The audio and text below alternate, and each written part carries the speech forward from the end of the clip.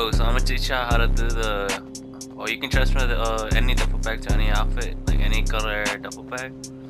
Uh, simple steps, yo. Or anywhere you can buy a parachute, a buy a parachute,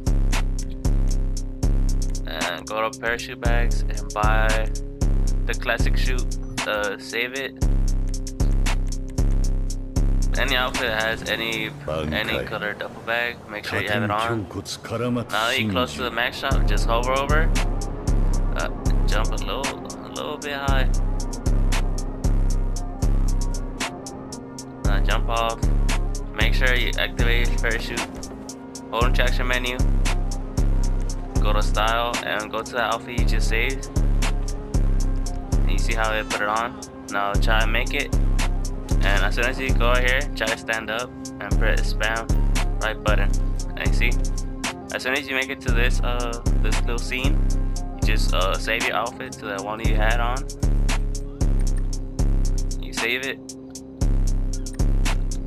Um then you go to the outfits, put the one you had and there, boom.